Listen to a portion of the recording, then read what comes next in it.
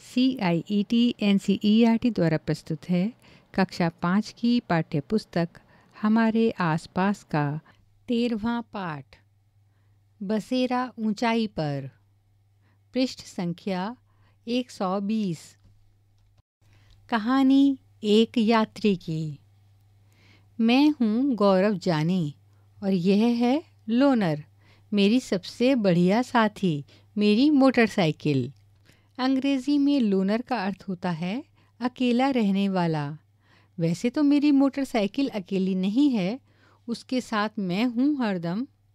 हम दोनों ही मुंबई की भीड़ भाड़ वाली, शोरगुल वाली गलियों और ऊँची ऊँची इमारतों में से निकलने का मौका ढूंढते रहते हैं। हम दोनों को ही अपने सुंदर देश के अलग अलग इलाकों में घूमने का बहुत शौक है।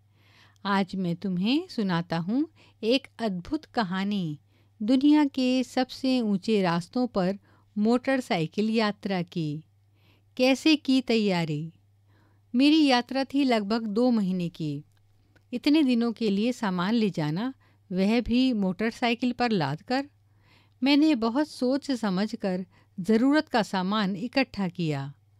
रहने के लिए टेंट, बिछाने के लिए प्लास्टिक की शीट और स्लीपिंग बैग गर्म कपड़े, काफ़ी दिन तक ख़राब ना होने वाला खाना, कैमरा, पेट्रोल रखने के लिए डिब्बे इत्यादि भी मैं मुंबई से निकला, महाराष्ट्र, गुजरात और राजस्थान के छोटे बड़े शहरों से होता हुआ दिल्ली पहुँचा। मुंबई से दिल्ली तक का 1400 किलोमीटर का रास्ता मैंने तीन दिन में तय किया मुझे पूरी उम्मीद थी कि दिल्ली में मुझे कुछ नया देखने को मिलेगा, पर दिल्ली भी मुंबई जैसी ही लगी। इतने सालों से मैं थक चुका था एक तरह के शहर देखते देखते पृष्ठ 121 वहीं एक जैसे घर, सीमेंट, ईंट, कांच और स्टील के बने हुए। अब आने वाले दिनों के बारे में सोचकर मैं बहुत उत्सुक था। मेरी कल्पना थी कि मुझे देखने को मिलेंगे। लकड़ी के घर, ढलवा छत वाले और बर्फ़ से ढके घर। बिल्कुल वैसे, जैसे मैंने किताबों में भी देखे थे। दिल्ली में सारा सामान भरवा कर मैं आगे बढ़ा।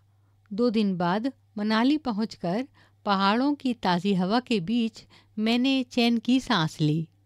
असली यात्रा तो अब शुरू होनी थी। जम्मू कश्मीर राज्य के कई मुश्किल रास्तों से होते हुए हमें लद्दाख में लेह तक जाना था। पता करो, नक्शे में देखकर बताओ कि मुंबई से कश्मीर जाने के रास्ते में कौन कौन से राज्य आएँगे।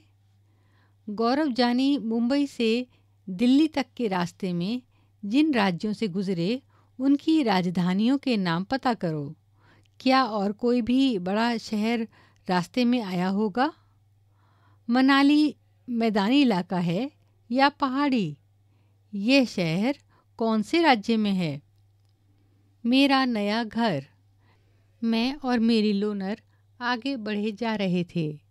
मुझे सिर्फ़ भरपेट खाना चाहिए था और रात की ठंड से बचने के लिए टेंट। मेरे छोटे से नायलॉन के टेंट में इतनी ही जगह थी कि मैं सो सकूँ। रात के समय मेरी मोटरसाइकिल टेंट के बाहर पहरा देती। सुबह की ठंडी हवा और चिड़ियों की चहक से ही रोज़ आँख खुलती। पृष्ठ 122 बताओ, क्या तुम कभी टेंट में रहे हो? कहाँ? कैसा अनुभव था?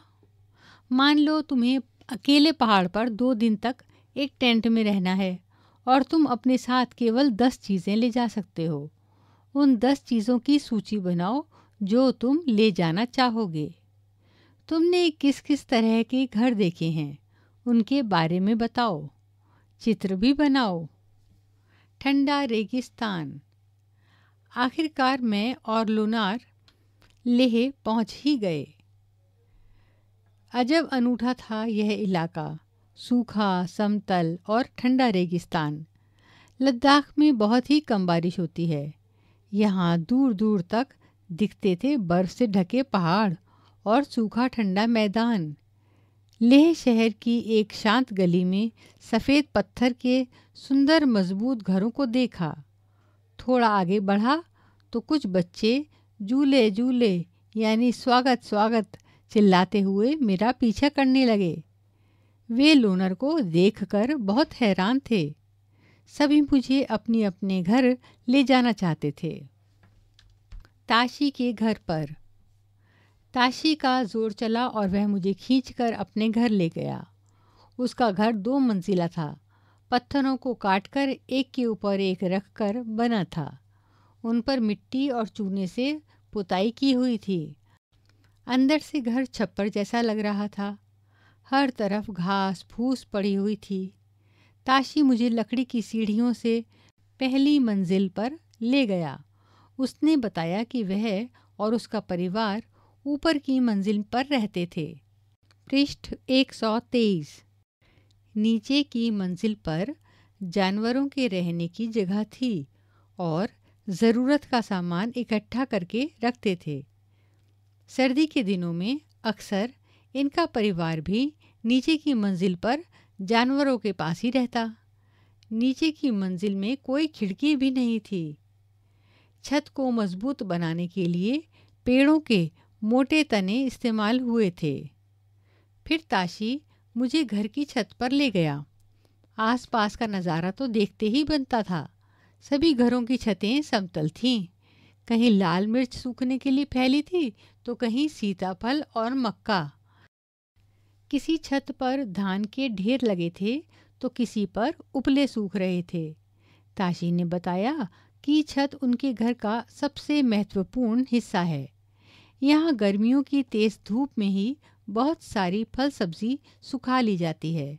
ये ठंडे दिनों में इस्तेमाल होती है, जब फल सब्ज़ी नहीं मिल पाते। सोचो, यह किन महीनों में होता होगा और क्यों? वहाँ खड़ा मैं सोच रहा था कि किस तरह उनके घर का हर हिस्सा एक ख़ास सोच से बनाया गया था। बिल्कुल वहाँ के मौसम और लोगों की ज़रूरत के अनुकूल। मुझे यह समझने में देर नहीं लगी कि मोटी मोटी दीवारें, लकड़ी के फर्श और लकड़ी की छत ही ठंड से बचाते होंगे। लिखो, ताशी के इलाके के लोग सर्दियों में नीचे की मंजिल पर रहते हैं। वे ऐसा क्यों करते होंगे? तुम्हारे घर की छत कैसी है? तुम्हारे यहाँ छत किन किन कामों के लिए इस्तेमाल होती है? पृष्ठ 124 दुनिया की चोटी पर लोगों का बसेरा। अब समय था आगे बढ़ने का। टेढ़े मेढ़े संकरे, पहाड़ी रास्तों से होते हुए मैं बहुत ऊंचाई पर जाता जा रहा था। कहीं सड़क तो कहीं बड़े बड़े पत्थर। लोनर का चलना मुश्किलों से भरा था। अब मैं चांग यांग इलाके की ओर बढ़ रहा था। लगभग पाँच हज़ार मीटर की ऊंचाई पर बना यह मैदानी इलाका बिल्कुल सुनसान और पथरीला था। इतनी ऊंचाई पर सांस लेने में भी मुश्किल हो रही थी। मेरे सिर में दर्द होने लगा और बहुत कमज़ोरी महसूस होने लगी। फिर धीरे धीरे ऐसी हवा में सांस लेने की आदत सी पड़ गई। मैं कई दिन तक यहाँ मोटरसाइकिल पर घूमता रहा, लेकिन दूर दूर तक कोई भी दिखाई नहीं पड़ता था। ना ही कोई पेट्रोल पंप, ना मैकेनिक सिर्फ़ दूर दूर तक फैला नीला आसमान और पहाड़ों के बीच बहुत से तालाब। कई रातें और कई दिन बीत गए। मैं अकेला ही बढ़ता रहा। फिर एक दिन अचानक मेरे सामने था बड़ा सा हरा मैदान और उसमें चरती भेड़ बकरियाँ। थोड़ी ही देर पर मुझे कुछ टेंट दिखाई दिए। मैं हैरान था कि इस सुनसान इलाके में ये कौन लोग थे और क्या कर रहे थे? पता करो, तुम जिस इलाके में रहते हो, वह कितनी ऊंचाई पर है? गौरव जानी ने ऐसा क्यों कहा? इतनी ऊंचाई पर सांस लेने में भी मुश्किल हो रही थी। तुम कभी पहाड़ी इलाके में गए हो? कहाँ? वह कितनी ऊंचाई पर था?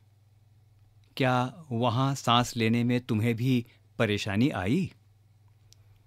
तुम ज़्यादा से ज़्यादा कितनी ऊंचाई तक गए हो?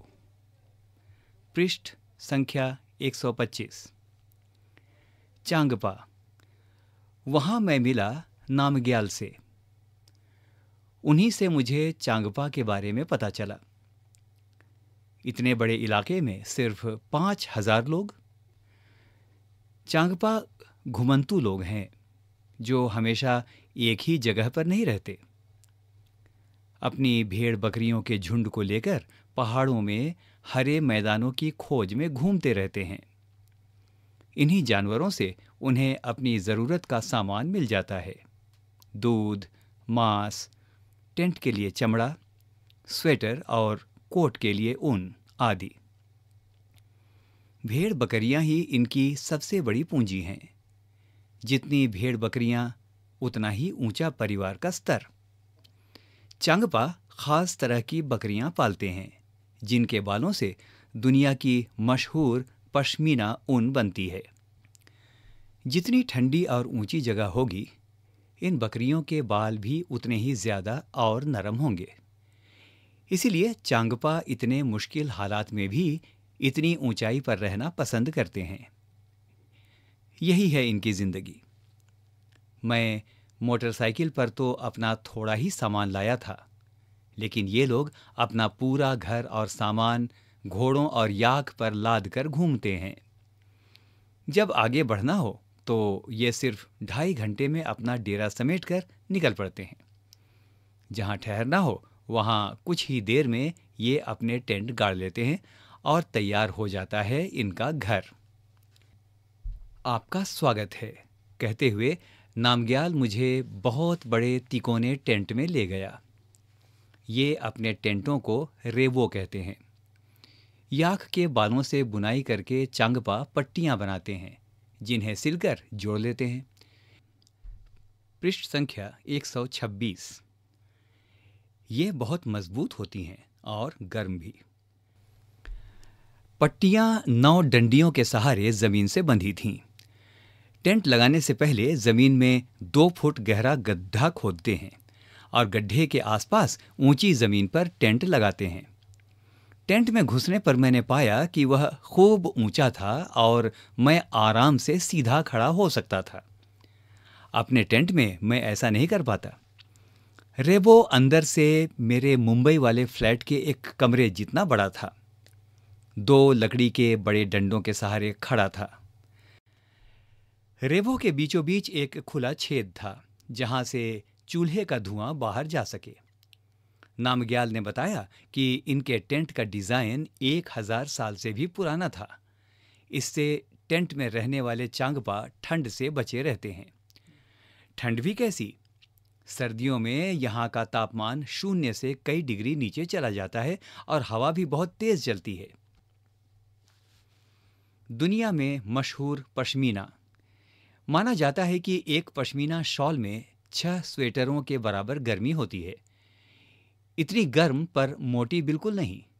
यह पश्मीना बनता है पहाड़ी बकरियों की एक खास नस्ल से, जो लगभग पाँच हज़ार मीटर की ऊंचाई पर रह सकती हैं। यहाँ सर्दियों में तापमान शून्य सेंटीग्रेड से भी बहुत कम। यानी माइनस चालीस डिग्री सेंटीग्रेड तक चला जाता है। इतनी सर्दी से बचने के लिए बकरियों के शरीर पर बहुत ही बारीक और नरम बाल उगाते हैं, जो गर्मियों में झड़ जाते हैं। ये बाल बहुत ही पतले होते हैं। इतने पतले कि बकरी के छः बाल मिलाकर तुम्हारे सिर के एक बाल की मोटाई के बराबर होंगे। इसलिए पश्मीना शालों को मशीनों द्वारा नहीं बुना जा सकता। इनकी बुनाई हाथों से करने के लिए खास बुनकर होते हैं। अगर एक बुनकर ढाई सौ घंटे बुनाई करे, तब जाकर एक साधारण पश्मीना शॉल तैयार होती है। इतनी मेहनत, सोचो, अगर डिज़ाइन वाली शॉल बुननी हो तो कितने दिन लगेंगे? पृष्ठ संख्या 127 एक घंटे में 70 किलोमीटर की गति। सोचो, अगर तुम अपने गाँव में बस में बैठे और वह इसी गति से चले तो तुम एक घंटे में कहाँ पहुँच जाओगे? रेबो के पास ही भेड़ बकरियों को रखने के लिए एक जगह बनी थी। इसे चांगपा लेखा कहते हैं। लेखा की दीवारें पत्थरों और चट्टानों को एक दूसरे पर रखकर बनाते हैं। हर परिवार अपने जानवरों के झुंड पर पहचान के लिए खास निशान बनाता है। रोज सुबह झुंड को लेखा से बाहर निकालकर गिनकर चराने ले जाते हैं। और ये काम औरतों और जवान लड़कियों का रोज का काम है। चांगपा लोगों की ज़िंदगी पूरी तरह से इन जानवरों से जुड़ी है। क्या कोई जानवर तुम्हारी ज़िंदगी का हिस्सा है? जैसे तुम्हारा कोई पालतू जानवर या खेती में इस्तेमाल किए गए जानवर इत्यादि? ऐसे पाँच उदाहरण सोचो और लिखो कि जानवर तुम्हारी ज़िंदगी से कैसे जुड़े हैं। क्या भेड़ बकरियों को अपने शरीर के बाल की ज़रूरत नहीं होती? चर्चा करो। पता करो। तुमने पढ़ा कि चांगथांग इलाके में तापमान शून्य डिग्री सेंटीग्रेड से काफ़ी कम हो जाता है। टीवी या अखबार में देखकर बताओ कि और कौन से शहर हैं जिनका तापमान शून्य डिग्री से भी कम हो जाता है? वे शहर भारत के हो सकते हैं या किसी और देश के भी। किन महीनों में तुम्हें ऐसे तापमान की खबरें देखने को मिलेंगी? श्रीनगर की ओर। मैंने कुछ दिन इन लोगों के साथ बिताए। न चाहते हुए भी आगे तो बढ़ना ही था। लेह से वापसी की यात्रा मुझे इस अनोखे इलाके से दूर, एक दूसरी ही दुनिया में ले जाने वाली थी। लेह से वापस आते समय मैंने श्रीनगर की ओर का रास्ता पकड़ा। कारगिल से होता हुआ फिर श्रीनगर पहुँचा। रास्ते में मैंने कई तरह के घर और अद्भुत इमारतें देखीं। फिर कुछ दिन मैं श्रीनगर में रहा। वहाँ के अलग घरों को देखकर मैं हैरान था। उन घरों ने मेरा दिल ही जीत लिया। कोई पहाड़ पर तो कोई पानी पर तरह तरह के घरों में लोग रहते थे। पृष्ठ संख्या 128 उन घरों में मैंने कई फ़ोटो खींचे। ये फ़ोटो तुम भी देखो। अपने सफ़र की शुरुआत पर निकलने से पहले मैंने कभी सोचा भी न था कि एक ही राज्य में मुझे इतनी तरह के घर और लोगों के रहन सहन के तरीके देखने को मिलेंगे।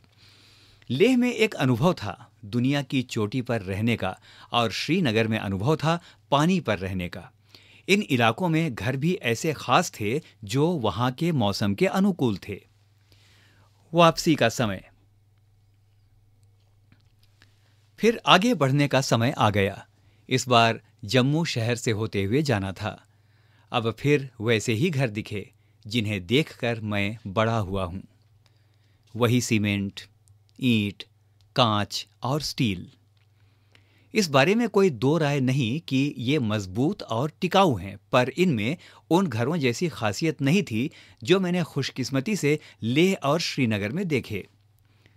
फिर से उतना ही लंबा वापसी का सफ़र करके मैं और लोनर मुंबई पहुँचने ही वाले थे।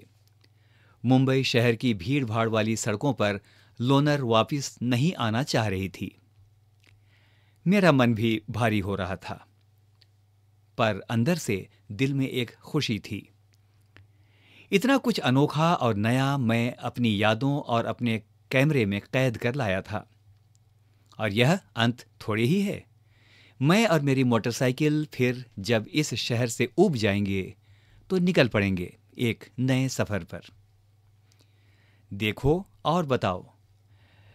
देखो जम्मू कश्मीर में अलग अलग तरह के घर हैं, जो कि वहाँ के लोगों की ज़रूरत और मौसम के अनुरूप बनाए जाते हैं।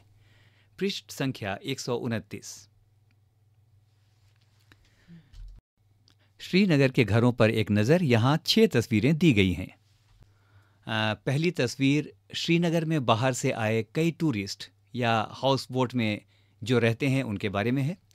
हाउस बोट 80 फुट तक लंबे होते हैं और बीच से इनकी चौड़ाई 8-9 फुट तक होती है। दूसरी तस्वीर, बोट की तरह बने लकड़ी के डोंगे पानी पर तैरते रहते हैं।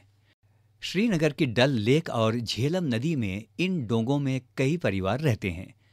मकान की तरह इस डोंगे में भी अलग अलग कमरे होते हैं। तीसरी तस्वीर है हाउस बोट और हाउस बोट के बारे में यहाँ पर बताया गया है।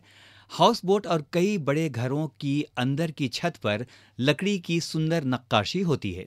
इनमें एक खास डिज़ाइन ख़त्म बंद है, जो जिगसॉ पजल जैसा दिखता है। दूसरी तस्वीर में चलते हैं। पत्थरों को काटकर एक के ऊपर एक रखकर बनाए गए घर कश्मीर के गाँव में दिखते हैं। पत्थरों के ऊपर मिट्टी की पुताई की जाती है और लकड़ी का भी इस्तेमाल किया जाता है। इन घरों की छत ढलवा होती है। अगली तस्वीर। यहाँ के पुराने घरों की खासियत है ये जालीदार खिड़कियाँ। ये बाहर की ओर उभरी होती हैं, इन्हें डब कहते हैं। इनमें बैठकर बाहर का नज़ारा बढ़िया दिखता है। और अंतिम तस्वीर। यहाँ के पुराने घरों की खासियत है पत्थर, ईंट और लकड़ी को मिलाकर बनाना। घरों के दरवाज़ों, खिड़कियों पर डिज़ाइनदार मेहराब बने होते हैं।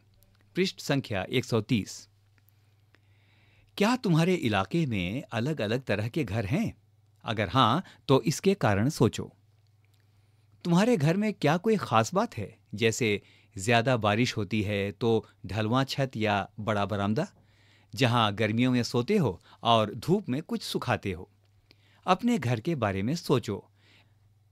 घर बनाने के लिए किन चीज़ों का इस्तेमाल हुआ है? मिट्टी, पत्थर, लकड़ी या सीमेंट? अपने घर की खास बात चित्र द्वारा दिखाओ। सोचो और लिखो। इस चित्र को देखो। क्या इसमें कुछ घर पहचान पा रहे हो? ये लकड़ी और मिट्टी के घर हैं, जिनमें सर्दियों में कोई नहीं रहता। गर्मियों में बकरवाल लोग यहाँ रहने आते हैं, जब वे बकरियों को चराने के लिए पहाड़ों की ऊंचाइयों पर ले जाते हैं। अंदाज़ा लगाओ कि बकरवाल और चांगपा लोगों की ज़िंदगी में कौन सी बातें मिलती जुलती हो सकती हैं, और क्या फ़र्क है? हम क्या समझे? तुमने जम्मू कश्मीर के तरह तरह के बसेरों के बारे में पढ़ा। कुछ ऊँचे पहाड़ पर, कुछ पानी में, कुछ जिनमें लकड़ी और पत्थर पर सुंदर डिज़ाइन है। कुछ जिन्हें बांधकर किसी और जगह भी ले जाया जा सकता है। बताओ, यह बसेरे वहाँ के लोगों की ज़रूरत के हिसाब से कैसे बने हैं? यह घर तुम्हारे घर से कैसे अलग हैं? बसेरा ऊंचाई पर। अभी आप सुन रहे थे कक्षा पाँच की पाठ्यपुस्तक हमारे आसपास का तेरहवा पाठ।